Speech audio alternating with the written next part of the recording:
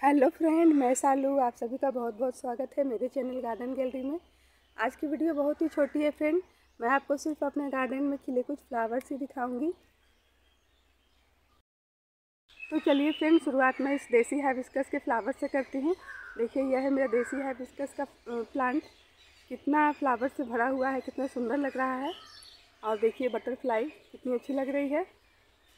पूरा प्लांट जो है, वो फ्लावर से भरा हुआ है, बहुत ही सुंदर लग रहा है ये।